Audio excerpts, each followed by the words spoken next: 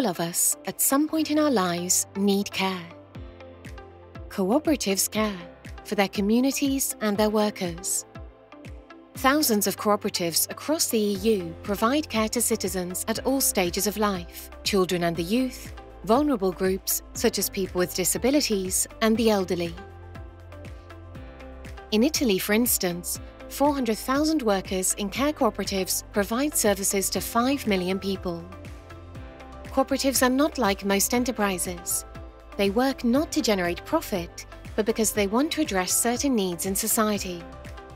The profit is reinvested in order to improve the quality of the service and make it last. Cooperatives in the care sector are complementary to services provided by public authorities. Often, they are the only care provider. Care cooperatives usually are governed by multiple stakeholders workers, care recipients, their family members, public authorities, and other partners.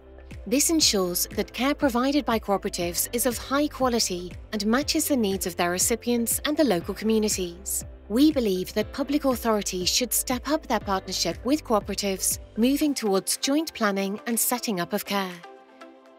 By 2030, the EU will need up to 7 million more care workers. Care work is often precarious, stressful for people who perform it, and sometimes unofficial.